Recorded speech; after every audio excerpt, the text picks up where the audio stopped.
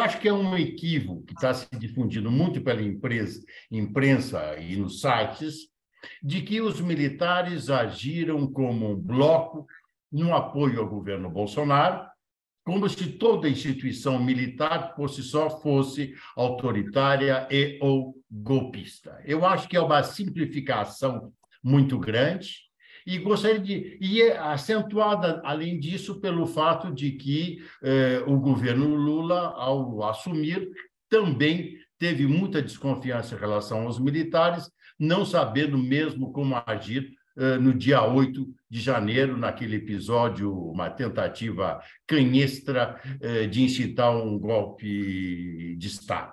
Na minha avaliação, o, o, não houve golpe porque os militares não quiseram que houvesse golpe. Tão simples quanto isso. Ou seja, Bolsonaro criou as condições de um golpe, as suas tendências autoritárias muito explícitas, um, organizou uma campanha contra as urnas eletrônicas, que é um questionamento do sistema eleitoral brasileiro, teve, aliciou, de certa maneira, muitos generais que se prestaram a esse trabalho no Palácio do Planalto, e o resultado foi esse ambiente de instabilidade eh, no final do governo Bolsonaro, tendo se prolongado nesse início do governo Lula. Se não houve golpe, é porque militares do alto comando, sobretudo, eh, sobretudo do Exército, que é a instituição mais importante do ponto de vista militar, disseram não ao golpe. E disseram não ao golpe numa estrita obediência à Constituição e ao respeito à democracia. Ou seja, se não houve golpe no Brasil, devemos agradecer também aos militares por não terem embarcado nessa aventura. E desconhecer a, a, interlocução, vamos dizer assim, uma atuação dos militares na política é desconhecer a história republicana do Brasil. Tão simples quanto isso.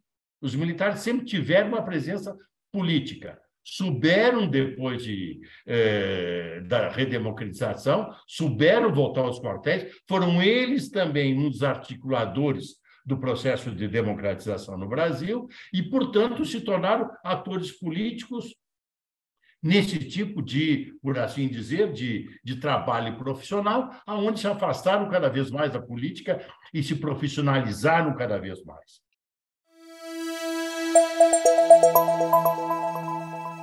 A tentativa de golpe de 8 de janeiro não funcionou porque não houve apoio, sobretudo, do alto comando das três forças. Isso deve ser louvado.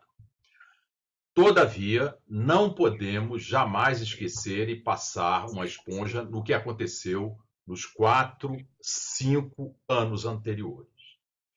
Mas, sobretudo, durante os quatro anos de Bolsonaro. É, as Forças Armadas não deram tudo o que Bolsonaro queria, mas foram extremamente úteis ao projeto autoritário de Bolsonaro.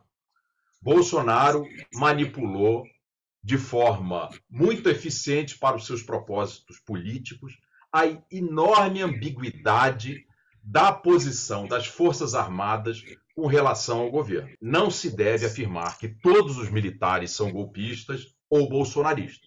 De fato, nem todos são, mas o apoio é grande na ativa e, sobretudo, na reserva. A presença dos militares no centro da arena política de uma democracia é uma distorção completa. Por mais que sejam legalistas e constitucionalistas os militares, eles se deixarem enredar, cooptar por um governo como o do Bolsonaro, gera uma série de problemas para todos. Para as Forças Armadas, em primeiro lugar, sobretudo para o pessoal da ativa, como disse o Denis, para a democracia, para a oposição e não, não nos esqueçamos da defesa nacional, para a eficácia da nossa política de defesa e para a defesa nacional.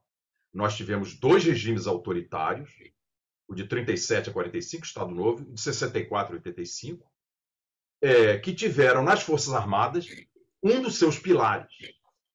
Isso não pode mais ser repetido, isso tem que ser dito enfaticamente. É, e seria um retrocesso absoluto voltarmos a ter o tipo de pretorianismo que experimentamos no século XX. Bolsonaro tentou trazê-lo de volta, não conseguiu, mas há um altíssimo custo para a qualidade da, da nossa democracia, para a qualidade das relações civis militares e para a eficácia da defesa nacional.